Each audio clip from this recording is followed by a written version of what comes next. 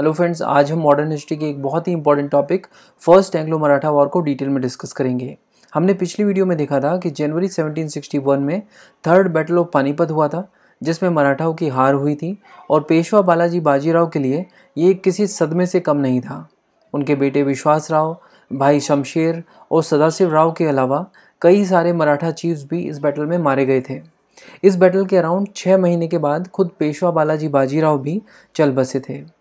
पेशवा की कुर्सी खाली हो गई थी और रघुनाथ राव को लग रहा था कि अब पेशवा उसको बनाया जाएगा। बट अगले पेशवा बने बालाजी बाजीराव के पुत्र माधवराव। माधवराव मात्र 16 साल की उम्र में पेशवा बन गए थे। मगर कम उम्र के बावजूद माधवराव एक ज़बरदस्त एडमिनिस्ट्रेटर साबित हुए। थर्ड बैटल ऑफ़ पानीपत की हार में हुए लॉसेस को माधवराव ने जल्दी ही रिकवर कर दिया और मराठा एम्पायर की खोई हुई पावर और prestige within a period of ten years वापस लौट चुकी थी। मराठा कॉन्फेडरेसी के चीफ्स भी माधवराव फ़र्स्ट के नेतृत्व में बढ़िया कोऑर्डिनेशन के साथ काम कर रहे थे। पेशवा खुद तो स्ट्रॉन्ग थे ही, होलकर और सिंधिया जो मराठा चीफ्स थे, वो भी काफ़ी पावरफुल थे। बट ये रघुनाथ राव लगातार कुछ ना कुछ प्लानिंग और प्लॉटिंग में लगा रहता था, ताकि कैसे भी कर कर ये पेशवा बन जाए। माधवराव को जब इसके बारे में पता चला कि चाचा जी जो है वो मान नहीं रहे हैं तो माधवराव ने इसे कंट्रोल करने के लिए शनिवार वाड़े में हाउस अरेस्ट करवा दिया। बट 1772 में माधवराव की ट्यूबरक्लोसिस से मृत्यु हो गई और इनकी मृत्यु मराठा एम्पायर के लिए घातक साबित हुई और इनके बाद इनके भाई नारायण राव को पेशवा बनाया गया। इनके पेशवा बनने के बाद रघुनाथ राव को हाउस अरेस्ट से रिलीज़ कर दिया गया बट पेशवा नारायण राव कोई खास स्ट्रांग पेशवा नहीं थे और जब पेशवा ही स्ट्रांग नहीं है तो उसके अंडर में काम करने वाली जो मराठा कॉन्फिडेंसी है, वो भी ऑब्वियसली इनके कंट्रोल में नहीं रहेगी। तो उनका कंट्रोल जो है, वो मराठा कॉन्फिडेंसी से थोड़ा लूज़ हो गया। और दूसरी तरफ़ रघुनाथ राव जो अब हाउस एड से बाहर आ चुका था, वो अब पेशवा बनने के लिए और ज़्यादा वेट नहीं कर सकता था। उसने 1773 में एक कॉन्स्परेसी के तहत नारायण राव की हत्या करवा दी और खुद को पेशवा घोषित कर दिया। अब ये बात छुपने वाली तो थी नहीं। सबको पता था कि उसने अपने भतीजे नारायण राव की हत्या करवाई है ताकि वो खुद पेशवा बन सके। लोग जो है उसे पेशवा के रूप में पसंद नहीं कर रहे थे। इनफैक्ट कुछ मिनिस्टर्स भी उसके खिलाफ थे। और जब नारायण राव की पत्नी गंगाबाई ने नारायण राव की मृत्यु के कुछ महीनों के बाद, साल 1774 में नारायण राव के बच्चे को जन्म दिया तो मराठा एम्पायर के एक बहुत ही इन्फ्लुएंशियल मिनिस्टर थे उस समय, नाना फडनवीस उन्होंने मुहिम शुरू की कि इस बच्चे को पेशवा बनवाया जाए। इस बच्चे का नाम रखा गया सवाई माधवराव यानी one and a quarter Madhavrao यानी ये माधवराव से भी सवा गुना तेज बच्चा था। ऐसा नाम रख दिया उन लोगों ने। और कहा गया कि नारायण राव के बाद लीगली सवाई माधवराव को ही पेशवा बनाया जाना चाहिए। और इस मुहिम में नाना फडणवीस के साथ आ गए पावरफुल मराठा चीफ तुकोजी होलकर और महाजी शिंदे।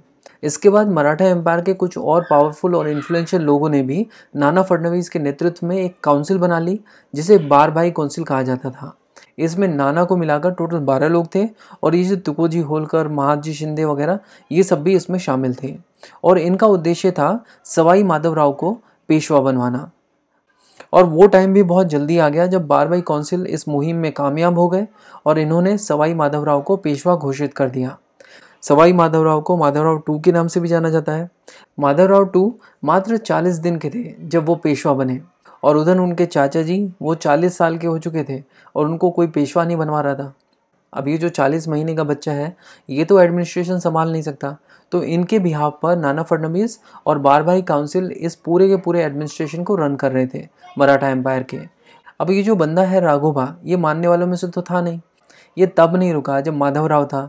उसको इसको हाउस अरेस्ट कराना पड़ा। और उसके बाद नारायण राव की तो इसने हत्या करवा दी। तो ये चालीस दिन के इस बच्चे को छोड़ेगा। तो इसने सोचा कि भाई, ऐसे काम बनेगा नहीं। तो इसने क्या किया कि साल 1775 में भागकर सूरत में ब्रिटिश ईस्ट इंडिया कंपनी की बॉम्बे काउंसिल से मिला और उनसे मदद मांगी। ये जो राघोबा है, ये चाहता था कि ब्रिटिश ईस्ट इंडिया कंपनी उसकी पेशवा बनने में मदद करे। But British East India Company free में तो मदद करेगी नहीं। ऑब्वियसली उनकी भी थोड़ी बहुत डिमांड्स होंगी। अब राघोबा को किसी भी हाल में पेशवा बनना था तो उसने जो मांगा वो दे दिया। राघोबा ने सालसेट और बेसाइन ब्रिटिशर्स को देना तय कर लिया। ये जो सालसेट है, ये बेसिकली वो एरिया है जहाँ पे मुंबई, थाने, ये सब एरियाज़ हैं। इसके अलावा सूरत और भरूच के जो डिस्ट्रिक्ट्स हैं, उनसे मिलने वाले रेवेन्यू को भी वो ब्रिटिश ईस्ट इंडिया कंपनी के साथ शेयर करने के लिए तैयार हो गया था। अब ये तो वो चीज़ें हुई, जो ये ब्रिटिशर्स को ऑफ़र कर रहा था। अब ब्रिटिशर्स इसको क्या दे रहे थे? तो ब्रिटिशर्स ने कहा कि तुम एक काम करो, हमारे ढाई हज़ार सोल्जर्स ले जाओ।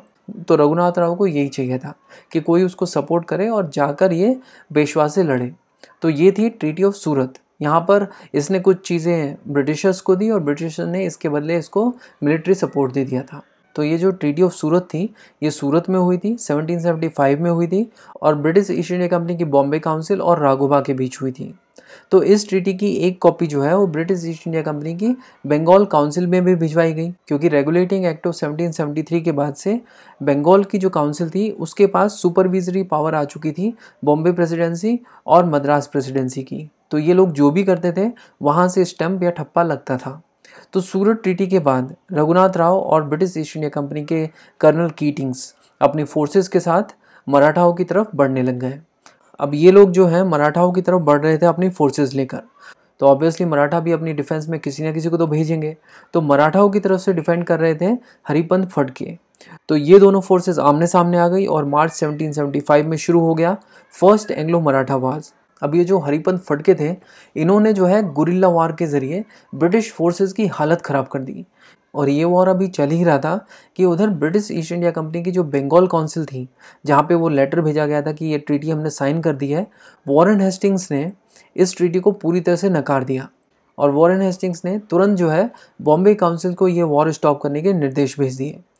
अब ये तो हो नहीं सकता कि ब्रिटिश फोर्सेज ही पीछे हट जाएँ। मराठा भी तो वहाँ पे लड़ रहे हैं। तो वॉरेन हेस्टिंग्स ने मराठाओं को भी एक मैसेज भेजा कि भाई साहब, आप जो है, वो आप रुक जाइए। हम यहाँ पर वॉर रुकवाने की कोशिश कर रहे हैं। ब्रिटिश फोर्सेस ऑलरेडी पीछे हट रही हैं। तो आप एक काम करो, हम लोग आपके साथ एक फ्रेंडली ट्रीटी साइन करेंगे। और इस काम के लिए वॉरेन हेस्टिंग्स ने कर्नल अपटन को मराठाओं के पास भेजा। और इस तरह साल 1776 में ब्रिटिश और मराठाओं के बीच ट्रीटी ऑफ़ पुरंदर साइन हुई, जहाँ पर ब्रिटिश ईस्ट इंडिया कंपनी की तरफ़ से ये माना गया कि वो सवाई माधवराव को पेशवा रिकॉग्नाइज करते हैं। ये इस ट्रीटी का आई थिंक सबसे इंपॉर्टेंट फैक्ट है। क्योंकि इससे पहले वो रघुनाथ राव का सपोर्ट कर रहे थे तो इसका मतलब सीधे सीधे ये भी है कि वो लोग सवाई माधवराव को पेशवा नहीं मानते होंगे राइट क्योंकि वो रघुनाथ राव को पेशवा बनवाने के लिए ये फाइट कर रहे थे। तो ये सबसे इंपॉर्टेंट पार्ट था इस ट्रीटी का। और उन्होंने इसके साथ साथ ये भी कहा कि जो मराठाओं की टेरिटरीज हमने एक्वायर कर लिया है ड्यूरिंग दिस वॉर उसको भी हम रिटर्न कर देंगे। इसी के साथ साथ ब्रिटिश ईस्ट इंडिया कंपनी ने यह भी बात मान ली कि वो मराठाओं के किसी भी दुश्मन के साथ हाथ नहीं मिलाएँगे इंक्लूडिंग राघोबा अब ये जो ट्रीटी ऑफ़ पुरंदर है, ये राघोबा के लिए तो बहुत ही बैड साबित हुई, क्योंकि मराठाओं के साथ उसकी पहले दुश्मन चल रही है और ब्रिटिशर्स बोल रहे हैं, अब हम तुम्हारा साथ नहीं देंगे। तो अब राघोबा का क्या होगा? तो इस बारे में भी इस ट्रीटी में बात हुई। तो मराठाओं ने कहा कि आप उसकी चिंता मत करो, हम इसे देख लेंगे, हमारा ही आदमी भाई, है तो मराठा ही। तो हम एक काम करेंगे, हम इसको एक ऑफ़र देते हैं कि अगर ये अपनी आर्मी को डिसबैंड करता है तो हम इसको पच्चीस हज़ार रुपये महीना की पेंशन दे देंगे। पच्चीस हज़ार रुपये महीना इसके लिए बहुत है, इसके खर्चे वर्चे चलते रहेंगे और अपना रिटायर हो जाए, आराम से जिए। तो ट्रीटी ऑफ़ पुरंदर अभी ख़त्म नहीं हुई है, इसमें और भी पॉइंट्स हैं। तो ट्रीटी ऑफ़ पुरंदर में एक बहुत ही इंपॉर्टेंट डिस्कशन और भी हुआ।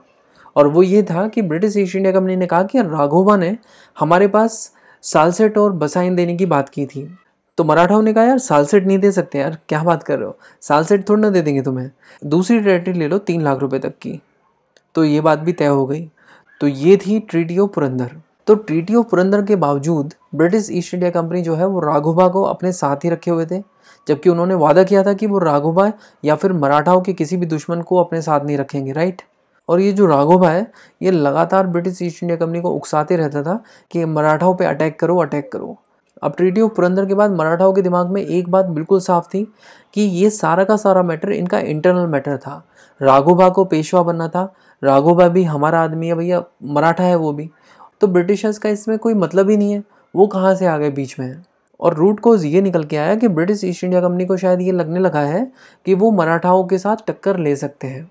तो मराठाओं की अब कोशिश ये थी कि वो अपनी पोजीशन को इम्प्रूव करें। और इतना ज़्यादा इम्प्रूव करें कि अगली बार अगर ब्रिटिश ईस्ट इंडिया कंपनी उनके सामने आए तो खड़ी ना हो पाए। इसके लिए उन्होंने 1777 में फ्रांस के साथ एक फ्रेंडली ट्रीटी साइन कर ली। अब ये जो फ्रांस के साथ फ्रेंडली ट्रीटी इन लोगों ने साइन की थी, इसका मेन मतलब ये था कि ये अपनी आर्मी को थोड़ा और इम्प्रूव करें राइट तो इस ट्रीटी में ये तय हुआ कि मराठाओं को ढाई हज़ार यूरोपियन सोल्जर्स मिलेंगे और इसके अलावा दस हज़ार लोगों को यूरोपियन लाइंस पे ट्रेन किया जाएगा। और इसके बदले मराठाओं ने फ्रेंच ईस्ट इंडिया कंपनी को वेस्ट कोस्ट पर एक पोर्ट दे दिया। अब ये बात भी कोई छुपने वाली तो थी नहीं। ब्रिटिश ईस्ट इंडिया कंपनी ने इस पर स्ट्रांगली रिएक्ट किया और मराठाओं की तरफ़ से की गई इस फ्रेंडली ट्रीटी को ना सिर्फ़ उन लोगों ने कंडेम किया, बल्कि मराठाओं पर अटैक ही कर दिया। अब इस अटैक को डिफेंड करने के लिए मराठाओं की तरफ़ से महाजी शिंडे जो है वो सामने आ गए। महाजी शिंदे ने एक बहुत ही खतरनाक चाल चली। उन्होंने ब्रिटिश आर्मी को लालच दिया कि वो तालेगांव के पास में जो घाट्स हैं, वहाँ पे मराठाओं पे अटैक कर दें। बट जैसे ही ब्रिटिश आर्मी ने अटैक किया, महाजी शिंदे की पूरी की पूरी फोर्सेज उन पर टूट पड़ी। और इसी के साथ साथ खपोली में ब्रिटिश आर्मी ने जो अपने सप्लाई बेस बनाया हुआ था, उसे भी मराठाओं ने उड़ा दिया। अब ब्रिटिश ईस्ट इंडिया कंपनी को भागने के अलावा कोई भी रास्ता नहीं दिख रहा था। वो भागकर जो है, वड़गांव के पास पहुँच गए। बट मराठाओं ने उन्हें वड़गांव में पूरी तरह से घेर लिया। और यहाँ पर 1779 में ब्रिटिश फोर्सेस को सरेंडर करना पड़ गया।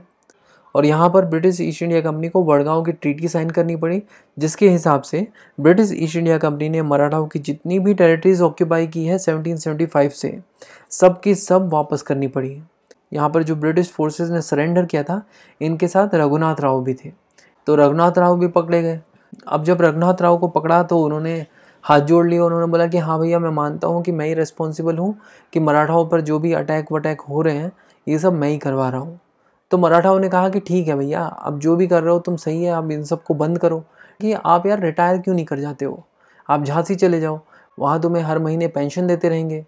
अरे, चले क्यों नहीं जाते हो तुम? तो राघोबा ने कहा, यार कि मैं चले तो जाऊँगा, लेकिन प्रॉब्लम ये है कि मैं तो कभी पेशवा बन नहीं पाया। लेकिन कम से कम जो मेरा बेटा है, उसको पेशवा के एडमिनिस्ट्रेशन में तो रख लो। क्या करेगा वो? वो थोड़ा ना रिटायर हो सकता है अभी से। तो मराठाओं ने कहा कि ठीक है, तुम्हारा जो बेटा है, बाजीराव टू, उसको हम जब बड़ा हो जाएगा तो पेशवा के एडमिनिस्ट्रेशन में रख लेंगे, उसकी चिंता मत करो। तो वड़गांव में तो टीटी साइन हो गई बट वहाँ वारन हेस्टिंग्स ने वड़गांव की टीटी को मानने से ही मना कर दिया। वारन हेस्टिंग्स ने कहा कि बेटा, तुम हमसे सरेंडर करवाओगे।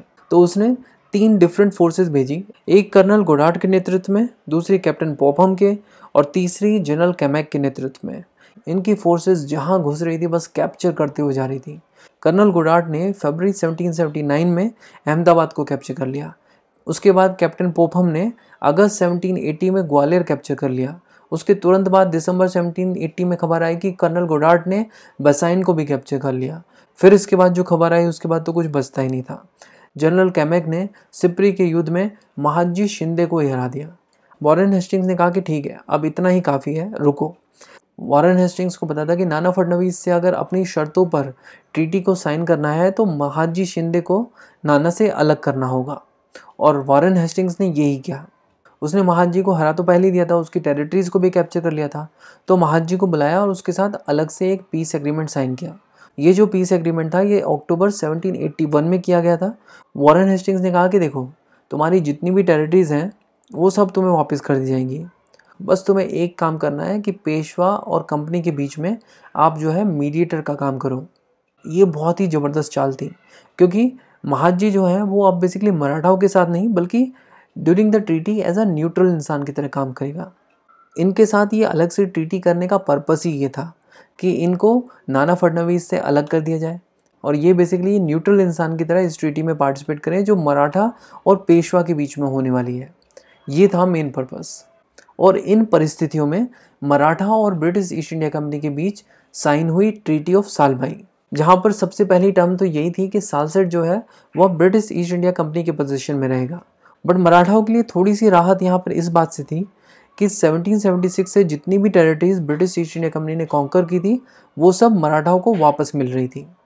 इसके बाद मराठाओं ने कहा कि वड़गांव की ट्रीटी आपने मानने से मना कर दिया था, लेकिन हमारी बात हो गई थी रघुनाथ राव से।